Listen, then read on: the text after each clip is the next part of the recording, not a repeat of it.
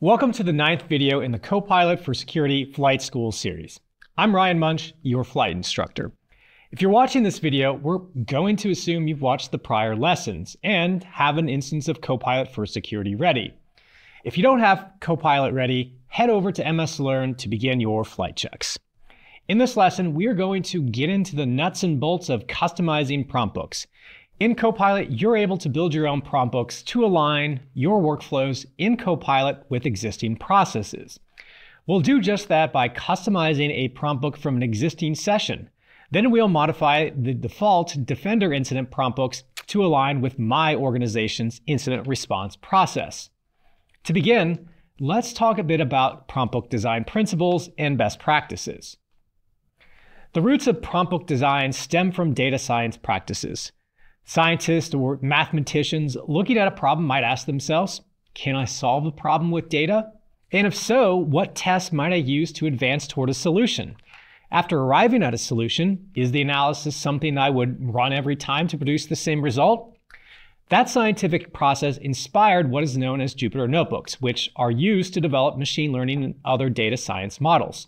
Over 10 million such notebooks exist, and they've been used in everything from threat hunting, the first observation of gravitational waves, to discovery of a supermassive black hole. The goal of the notebook design is to test a hypothesis, iterate, then land at an outcome based on those sequential steps. The Jupyter Notebook would then allow these steps to be repeated as necessary.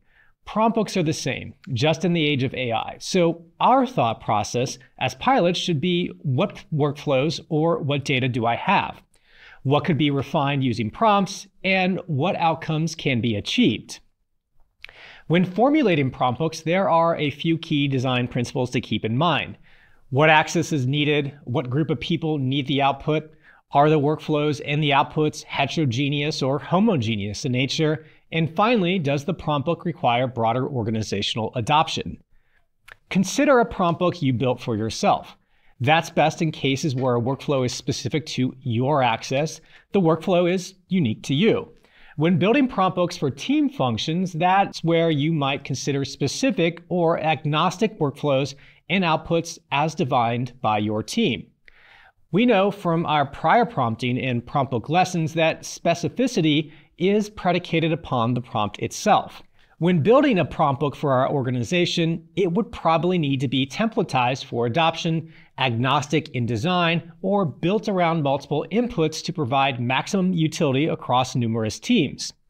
In determining each of the prompts in our custom prompt books, we'll want to remember that prompts are executed sequentially. Prior responses inform the next prompt response, and the outcome needs to be repeatable. Sometimes this is easiest to first see what a prior session is, so let's start there. We're going to leverage a prior session that examined a vulnerability with MDTI. This is a great representation of a common workflow I'd employ to identify risk and assess impact.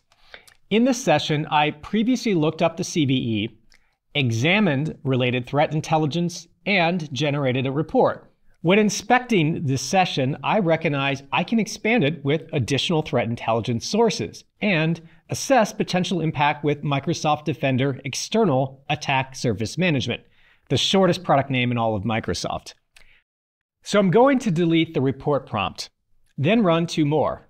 I'll first prompt against GreyNoise. What activity has GreyNoise observed for the CVE? And in parallel, an analysis of my attack surface by prompting what IP or host assets in my attack surface have a web component type name matching the software that is vulnerable in the CVE. Show me the query and the results. With those responses completed, I'm now at the point where I want to take what I've investigated and summarize it to provide easy next steps. Let's ask Copilot to generate a summary of the findings along with recommended mitigation steps to take next. With that, I feel like my workflow is complete. To turn this into a prompt book, just like we did with the pinboard, I'll check the prompts I want to include in the prompt book, then click the Create a Prompt Book button. I'll add a title, Vulnerability Intelligence and Impact Assessment, along with some tags correlating with the nature of the workflow. I'll then modify the first prompt to ask for an input. Inputs in the world of prompt books are parameters used to fill in values in one or multiple prompts. They can be used to provide an input for something like a CVE lookup, or allow the prompt books to be flexible and remain agnostic in workflow direction. For now, we will just add in the input for the CVE number as CVE ID. From the testing in my session, I like the way the rest of the workflow operates, but for now, I'll specify the prompt book target just to me before sharing with everyone, then click Create. I have the option at this point to view it, share it with a colleague, or further manipulate it in my library. I'll go to view it in the library so we can see the prompt book in the final form. And with that, we have built our first custom prompt book from an existing session. Now that we've got that under our wings, let's chart a different flight path by modifying a default prompt book for our own purposes. When it comes to custom prompt books, it's important to keep the goals of the workflow in mind. For this prompt book, I want to ensure it encapsulates critical processes while providing flexibility for various teams to achieve different outcomes. Prompt books can cater to specific sources, skills, or outputs based on the incorporation of inputs throughout the workflow. To begin customization, I'll start with modifying the identifying details of the prompt book with the name, tags, and description. These are used to help my colleagues locate and run the right prompt book for the workflow at hand. This will be important if I'm scaling the prompt book across my company. In the first prompt, the input supplied is the Defender incident ID, which is what kicks off the workflow in the prompt book. Each prompt and response are sequential, building more context leading to my outcome.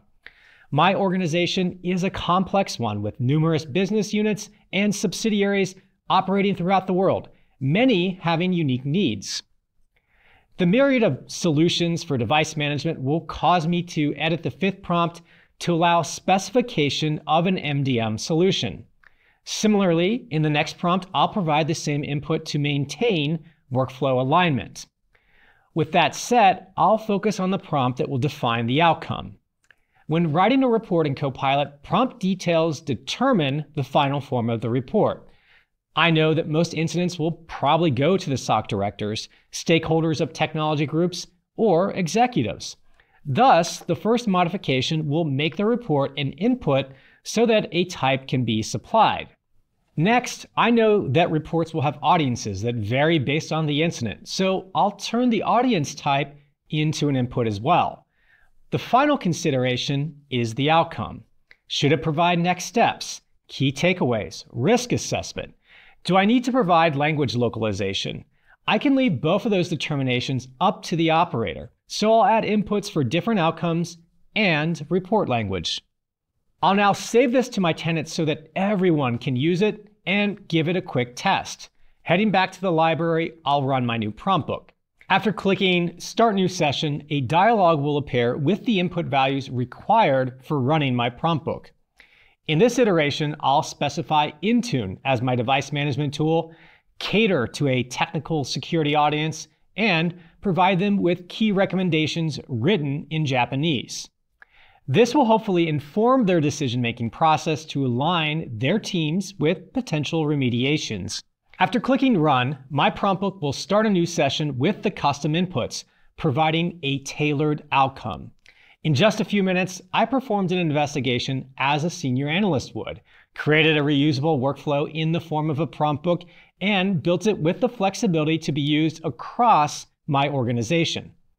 Prompt books are a simple but helpful way to standardize your processes in Copilot.